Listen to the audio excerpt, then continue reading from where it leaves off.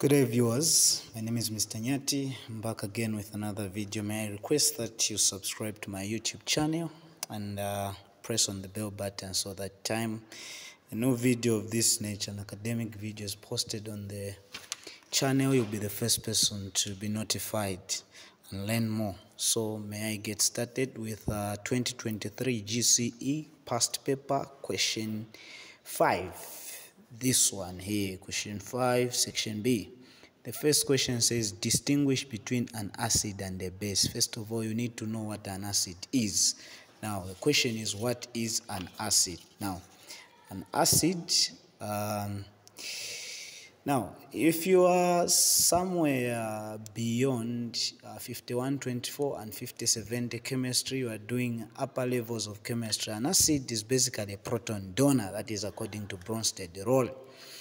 But here we are saying an acid according to the syllabus 5124 and the 5070 chemistry syllabi an acid is a compound that produces hydrogen ions as the only positively charged ions in aqueous solution. What does that mean? What it simply means is that when you dissolve an acid, uh, it will produce, when you dissolve it in water, it will produce hydrogen ions and the other negatively charged radical and this so to speak and this because of these hydrogen ions which are positively charged as the only positively charged ions we call this as an acid. Another example of the dissociation or ionization is sulfuric acid where it dissociates to two ions of hydrogen and a sulfate. We move forward. Now what is a base for you to, to differentiate the acid from a base, you also need to know what a base is. A base is a, an oxide or hydroxide of a metal, including ammonia hydroxide. Now, you need to understand that their bases are basically categorized into two. We have uh, the oxides and the hydroxides. The oxides are called basic oxides, while the uh, hydroxides are called alkalis. Now, what is an alkali? An alkali is basically a soluble base that produces hydroxide. Now, a hydroxide is written like this. Okay, hydroxide ions as the only negatively charged ions. So, if we are to dissociate this, would produce something like this produce metallic ions and hydroxide as the only negatively charged ions. So to make the differences, here are some of the differences between acids and bases. We have this. Acids have a sour taste while bases have a bitter taste. Acids have a pH below 7 while uh, uh, bases have a pH above 7 and acids are proton donors while bases are proton. So if you put this answer in the Zambian syllabus, the 5124 science or 5070 chemistry, you wouldn't be marked wrong. It's like producing a high level answer which is correct. So this answer is correct. Okay, you wouldn't be marked wrong. If you would be marked wrong, then I don't know. Then another difference is that an acid reacts with a reactive metal to produce a salt. In the same capacity of producing a salt, a base would actually react with an acid in order for it to produce a salt. Okay?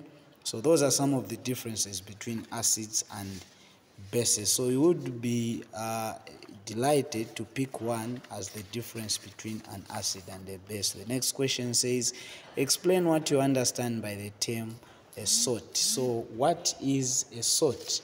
Now, by definition, a salt is a compound made up, made up of positive metallic um, or ammonium ions and any negative ions of an acid. So there should be and any negative ions of an acid. That is what we call a salt. The other definition, which is common among learners, is that a salt is a compound formed when hydrogen ions of an acid are fully or partially replaced by a metal or ammonium ion. So what do we mean by that? So here is a simple reaction. When you react an acid, one of the characteristics of an acid or of acids is that they react with bases to form salt and water only. So when you react this, what will happen is that this is an acid and this is a base. This type of reaction, by the way, is called neutralization reaction. So what will happen is that the metallic ions will replace these hydrogen ions.